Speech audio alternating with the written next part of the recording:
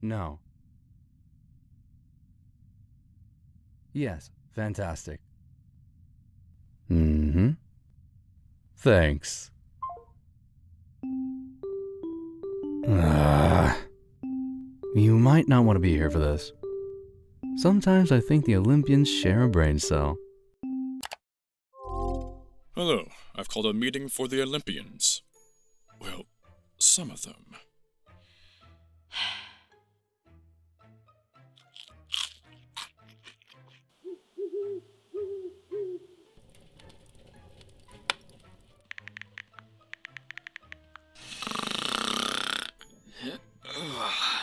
This was short notice. Are you wearing pants? Short notice. Hello, Zeus. Uh, everybody. What can I do for you? I spoke with Hermes and he mentioned that you have Persephone. Is this true? That is true. Hello.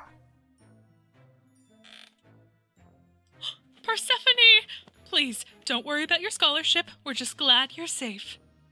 Hestia, you're supposed to be muted while I'm talking. Sorry. Artemis said her mic isn't working. Have you tried looking under preferences? What about system settings? Yeah, system settings. Percy, I just wanted to say excellent work. If you ever want to join me for a rampage, just let me know. Excuse me? Everyone shut up! I'm trying to execute justice here. Is that what you're calling it these days? Zip it. Hades, I assumed that you just didn't have time to escort Persephone to me. Uh. That is not the case.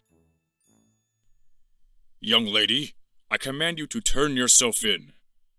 I'm sorry, Your Majesty, but according to Section 34.5 H of the Olympus Underworld Treaty, my location means I fall under the jurisdiction of the King of the Underworld. So, um, Hades.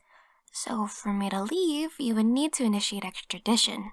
Keep this up, and you'll wish you had a punishment like Prometheus.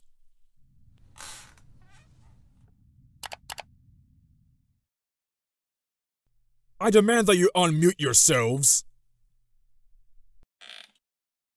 You are not to threaten her like that again. I will do whatever I like. Do you know where I found her after your warrant was released? I found her in an abandoned junkyard on the verge of hibernation. I don't see what this has to do with. That happened under our leadership. That's disgraceful. Open your eyes! This situation could have been handled so much better. Persephone's clearly using you! We'll see you when she's ready. Good afternoon. Wait!